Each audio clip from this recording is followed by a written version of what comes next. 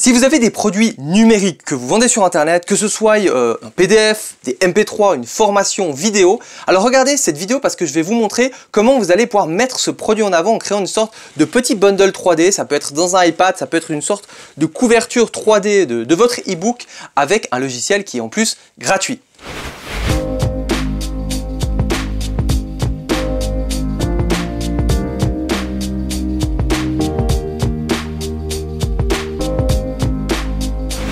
Bonjour, je m'appelle Vincent Lévy, je suis serial entrepreneur et consultant web marketing et dans cette vidéo on va parler de comment créer une sorte de, de produit virtuel gratuit, d'image plutôt virtuelle gratuit en 3D qui va mettre votre produit virtuel en avant. Alors si vous avez une formation vous allez voir qu'on va faire une sorte de capture d'écran de la zone membre pour sortir une sorte de design, euh, une sorte de, ouais, de couverture euh, en 3D ou par exemple intégrer votre zone membre dans une sorte de iPad.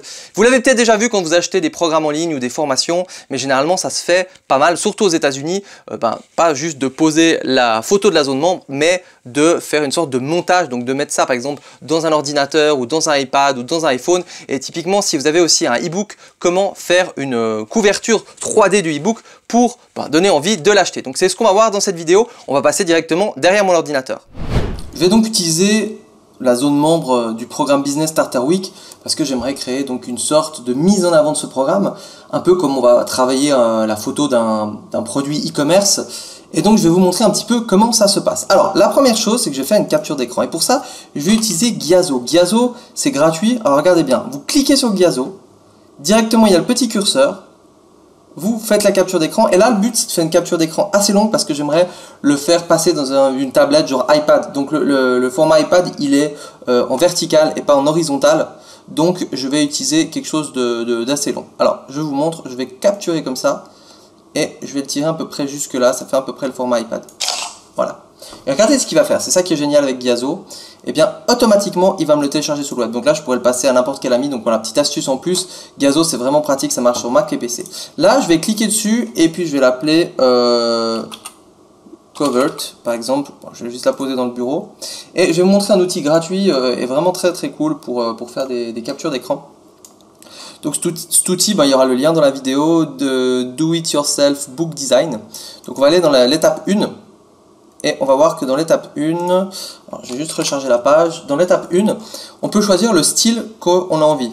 Alors, on peut même faire euh, plusieurs, voilà, des, espèces de, packages comme ça, en plus si votre formation a un livre, et puis même si vous avez un livre finalement, il peut se livre très bien sur euh, PDF, euh, avec PDF sur Kindle ou sur iPhone, donc à vous de voir après ce que vous avez envie d'utiliser. Et vous allez dans Single, et puis bah, vous allez choisir ce que vous voulez. Donc moi en l'occurrence je vais prendre celle-ci, je vais cliquer dessus, et je vais mettre Next. Donc la deuxième étape, ça va être de télécharger euh, l'image. Donc je vais cliquer là-dessus et je vais mettre Covert, Cover même, hop. Et je vais cliquer sur Upload. Donc là, ça prend un petit peu de temps. Et je vais aller sur Next. Et là, ça va la générer. Et j'ai juste à cliquer ici. Et vous allez voir le résultat sur PNG. Hop. Alors, j'espère qu'on peut... Voilà il est là avec le petit reflet. Alors là, je vois que le, petit reflet, il décolle un petit peu, mais directement, il me l'a mis sur le, euh, sur le iPad. Donc par exemple, là, si j'aimerais mettre genre nouvelle version ou j'aimerais ajouter quelque chose, moi, ce que je peux vous recommander, si vous n'avez pas Photoshop, c'est d'utiliser pixlr.com, pixlr.com, pixlr.com. Alors, il emmerde un petit peu. Si vous n'avez pas Flash, il faut cliquer sur ce petit cadenas et mettre autorisé. Maintenant, j'aimerais rajouter un badge. Alors, je vais aller chercher un badge, badge icône sur Google.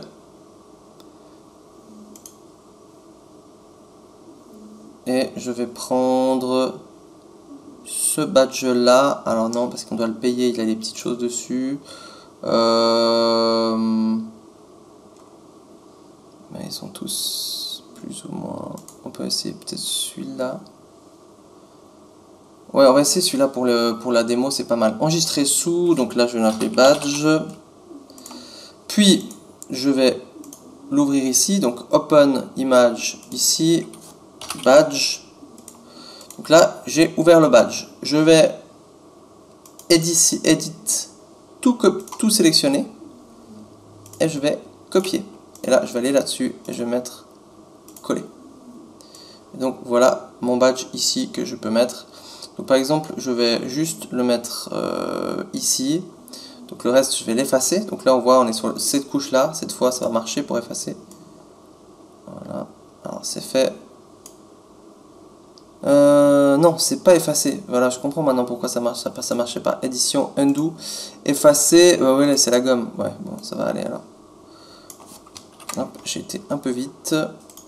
Normalement, moi, je bosse sur Photoshop, mais Photoshop, il est payant, donc je vous montre un petit peu ben, les, différentes fonctions que on peut faire en mode gratuit. Voilà. Et puis, j'aimerais le mettre de la même couleur que, ben, que, mon, que le truc du challenge. Donc là, hop, je vais cliquer comme ça. Et euh, je vais mettre l'intérieur comme ça. Je vais d'ailleurs prendre la broche, du coup, et remplir tout l'intérieur. Alors, c'est fait un petit peu à l'arrache, hein mais c'est pour vous montrer qu'on peut aller prendre des images de Google, les modifier, voilà, et puis l'extérieur, je vais le faire, je vais le mettre en gris, je vais voir en gris ce que ça donne, donc là j'ai choisi la couleur, je mets le petit pot de peinture, et puis je mets gris, et là je vais mettre 7 jours, parce que c'est un challenge de 7 jours pour lancer son business. D'ailleurs, une formation, si vous n'avez pas encore de business en ligne, qui est euh, top pour euh, ben, tous les gens qui démarrent pour, euh, ben, pour se lancer sur Internet. Je vais la mettre en blanche et je vais caser ça là. Voilà. C'est pas des plus sexy, mais ça fait le taf. Après, une fois que l'image elle est prête, je vais cliquer sur sauver. Je vais me l'appeler cover 1 par exemple. Hop. Je vais la mettre sur le bureau. Je vais retourner là-dessus. Je vais sélectionner ça comme avant, next, hop, je sélectionne l'image, je mets cover 1, je mets upload, c'est bon, next, et je vais prendre en PNG, voir ce que ça donne. Donc voilà donc le résultat, vous avez vu, c'est pas trop compliqué à faire et donc du coup ça donne assez bien quand on veut faire un design sur un site internet. Donc voilà, si vous avez aimé cette vidéo, n'hésitez pas à la liker, à vous abonner pour avoir d'autres conseils et vidéos sur le même type pour créer des business, pour euh, différents types de moyens de gagner de l'argent sur internet, web marketing, pub Facebook et plein d'autres vidéos. N'hésitez pas d'ailleurs à aller les regarder. C'était Vincent Lévy, ciao ciao